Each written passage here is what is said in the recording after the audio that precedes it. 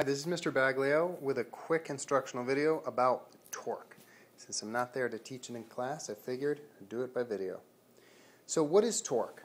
Torque is a force that changes the rotation of an object. In simple terms, it's a twist or a turn, just as force was a push or a pull. Here, there's the world of linear movement where things move in lines. Linear means lines and the rotational world, where things move in circles and arcs. We've studied these. So, inertia is something's reluctance to move or change its motion. In the rotational world, it's called rotational inertia.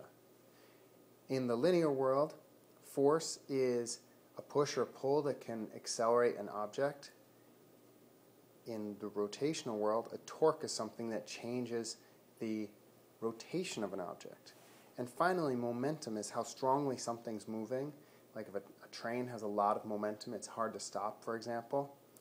Something that's spinning and it's hard to stop has a lot of angular momentum.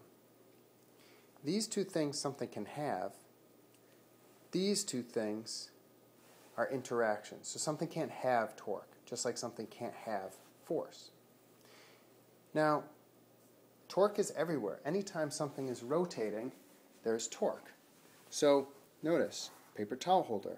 If I pull the paper towels, the roll rotates. I'm applying a force here, and it is rotating around this axle. Here, there's a knob on the sink. If I push it, it's like a lever. If I push it, it will rotate around the little axle that's inside there. If I push it close to the end, it's a little harder to move than if I push it far out. We'll talk about why that is in a second. And then finally, we have um, a lever like a ratchet. If I put this in and try and tighten or loosen a bolt, tightening it or loosening it, and I can't push any harder, something that I can do actually to make it easier is put a section of pipe on. So now I've extended the radius by giving myself a longer lever arm. Then I grab down here and I can easily undo the bolt. The last thing is even opening a door or a cupboard. You're applying a torque because it's rotating around the hinges and as I pull it open, I'm applying a torque all the way out here. If I try to open it here, it's actually really hard for the same reason. I don't have much leverage. So in all these things, here's the paper towels. I applied a force to the towel, and here's the radius, the distance which I uh, away from the center, or you can define it as the distance from the center or axis of rotation to the point where the force is applied.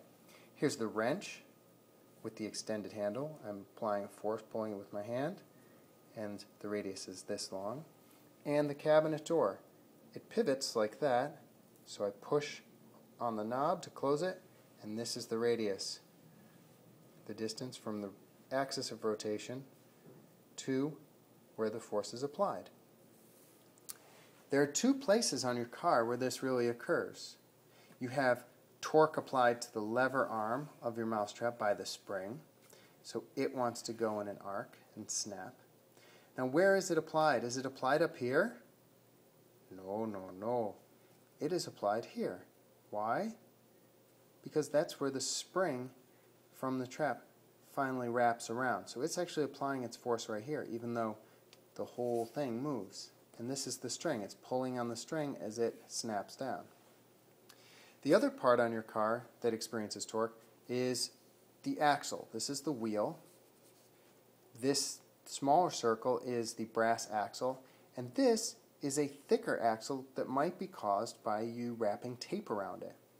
So as you wrap tape around it, you make it thicker and you increase the distance since the string is this outer string here is wrapping around the thickened part of the axle, you're actually increasing the radius. Now what effect does that have on torque?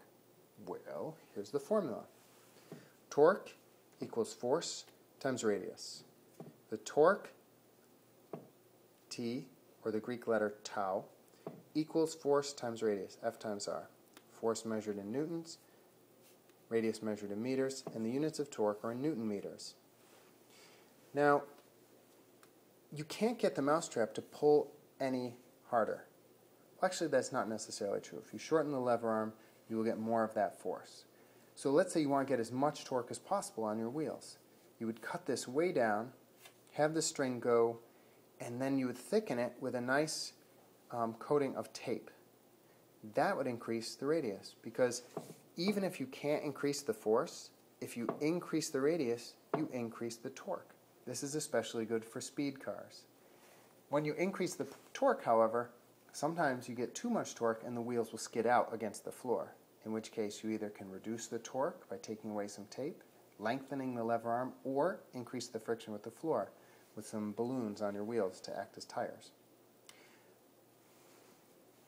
For a distance car, torque is not as critical because you have a longer race.